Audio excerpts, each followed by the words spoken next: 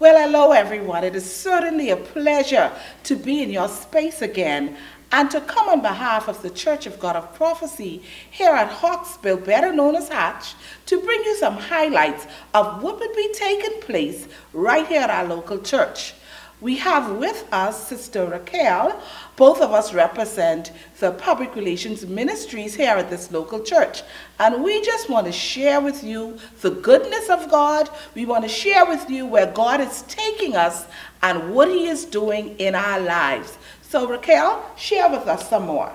Well, Sister Edith, it is such a delight to be here. And when I tell you I am excited, I am excited. This is the time of our church season I look forward to most. Because Sunday coming, I mean, everybody have to take this into consideration. Put this in your calendar. Mark this wherever you need to mark this.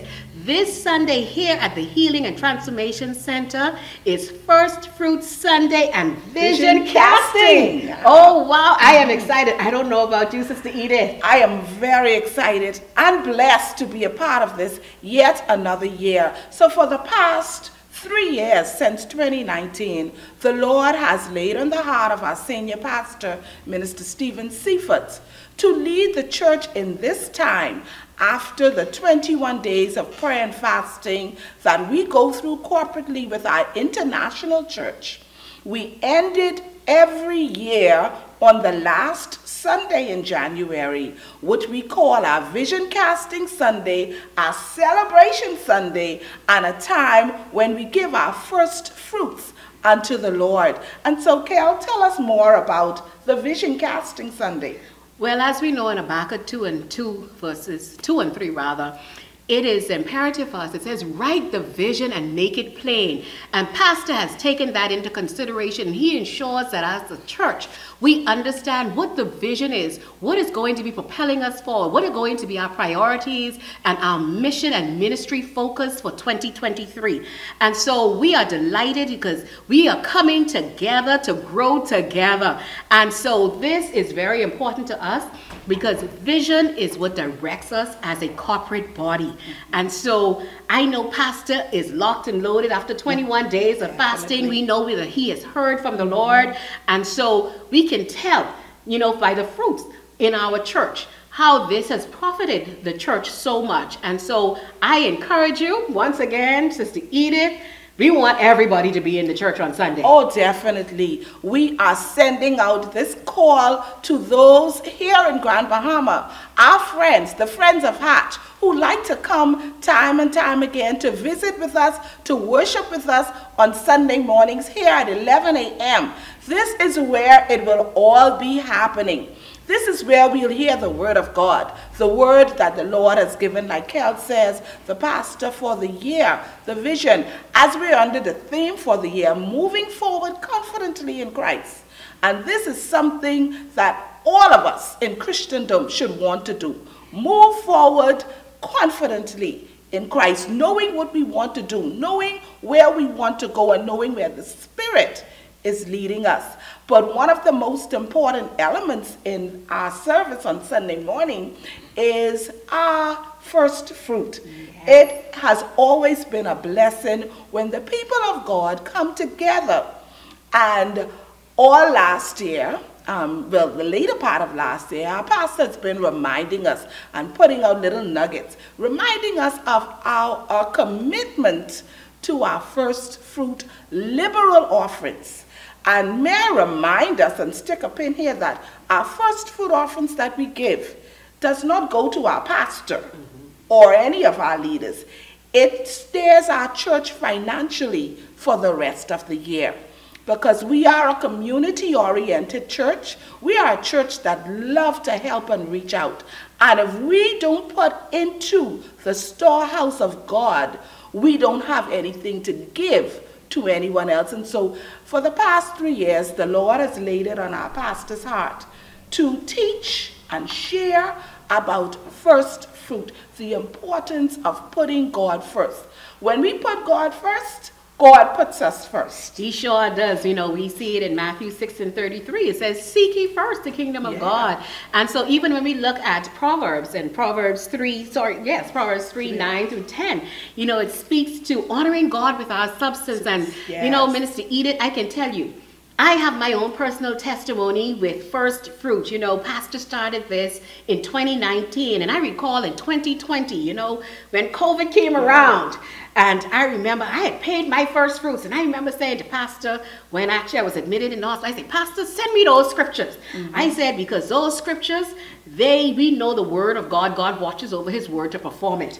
And so I was delighted when I received those scriptures, and I repeated those scriptures, and I reminded Amen. God of his word to me. And in two days' time, I met people on the COVID ward and left them there on the COVID ward To because I told glory. God, Yes. I gave him my first fruit, and he said, when I give the first, he can take care of the rest. Amen. And so healing is a part of that. Yes. And so whatever it is that you need, honor God with your substance, with your first fruit. So this Sunday, whatever it is, make that sacrificial gift, and you come into the house of the Lord this Sunday, and you honor God with your first fruit. And I can tell you, I can assure you, I can guarantee you, Amen. because this is the word of God, that God will in turn bless you for that sacrificial giving that you will give on Sunday. And you know, Cal, the thing about first fruit offerings is that you can pay it on behalf of your business, pay it on behalf of your family personally.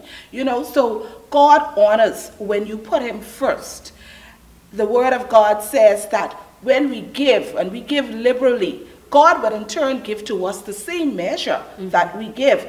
But when we receive from God, it would be the good measure, pressed down, shaken, Shaken together, together. running Yes. over. And this is something that we all need. And it's not just financial needs, because some of us have money, but there are the things that we need. And so, God, who is our supplier of every need that we have, He is able to do this. And what He wants us to do is trust His word. When we give, His word said we will get in return. And so, we're prepared every year since 2019 mm-hmm. to sacrifice, to think about what the good offering, the good and liberal sacrifice mm. that we would give unto the kingdom of God here at the Church of God of Prophecy in Hawksbill. Well, Minister Edith, once again, I want to remind those who are watching by YouTube or our Facebook channel, we want you to know that you are invited to be a part of this service. We have vision casting, we have first fruit, and it's celebration Sunday because we're celebrating the goodness of God. And so we encourage you to come out. Our service starts at but be here from 10:45. Make sure you mm-hmm. get a seat in the house. Don't come late. Mm-hmm. Be here at 10:45 a.m. and someone will be here to welcome you. And trust me, the Spirit of the Lord God, He will be here in the house, and the word will go forth. And so we're encouraging you. We're inviting you. We welcome you to be a part of this ministry and this ministry service on Sunday. So it's all about first fruit giving. And I'm excited about it. Oh, definitely. It's about vision Vision casting, casting. yes. And I'm excited about it. So it's a lot for us in this congregation to celebrate. Amen. And for the wider Grand Bahama and wherever you at, if you're not able to get into the house, tune in to us on Facebook and YouTube and get this word. Get this word in because I know our pastor is ready after 21 days of fasting. Trust me, there is a word, for you. Amen. And I just want to send a shout out and remind our viewers that watch us every Sunday morning, um, no longer than Friday gone. We met up some- with some persons from the United States that told us that we're doing a wonderful job. They're excited. They're always waiting and watching those in Turks and Caicos, those in our family islands, and those even in Canada, around the world, wherever we can see this. I just want you to know that we appreciate you tuning in. So go like, subscribe, and share our Facebook page and our YouTube page. And so for those who want to give, I just want to remind you that you are sowing into a good soil. Yes. Good soil. And God is going to reward you for the gift of love that you give to this ministry. Sister Edith, before we wrap up, I do want to remind persons, because we do have international viewers, Yeah. that no matter where you are in the world, you still have an opportunity to give. And so we have different accounts where you can do direct deposit, where you can do Right. PayPal, whatever it is, we will find a means by which to give because you know that you are excited just as we are and you want to be able to sow into this ministry because like Sister Edith said, you know, we are always, our outreach ministry is very vibrant in the Hawksbill and Lewis Yard and Wellington Heights and Sunrise and all of these various subdivisions. We are in these areas and these communities year round and the needs are great Yes. within these communities. So we're asking you to help us, help others in our community. And you know, the Word of God tells us when we do this, to the least of these, we do this unto God. And so we invite you, once again, we're encouraging you through the Word of God to give liberally to this ministry and to be a part of the service. If you're on the island of Grand Bahama, if you need transportation, call us here at the church. We have a bus available. We will get you and we want to get you into the service. And so God bless you, Minister Edith. I am excited. I can't wait until Sunday. I wish I could stay in I church all am- night. I am excited because I know what the Lord has in store for us. We've been praying, we've been fasting, we've been sowing. And so we are waiting for the great harvest that the Lord has promised us when we give to Him. Again, not just financially. There's some people that needs healing. There's some people that needs deliverance. There's some people that needs a job. There are people that need their businesses to start. Whatever the need, we are here to pray with you and for you. And I want us to believe and know that God is a God of his word. He will perfect the things that concerns us. So God bless you. And tune in on Sunday morning, Lord's willing, 11 a.m. Eastern Standard Time. And if you're on the island, you can come in and worship with us.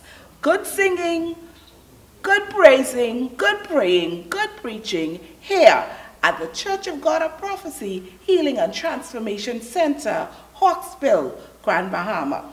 Yeah, God bless you, Sister Yes. Edith, and we look forward to Sunday. And if you don't know God in the pardon of your sins, the best gift you could give is your heart. God bless you and see you on Sunday.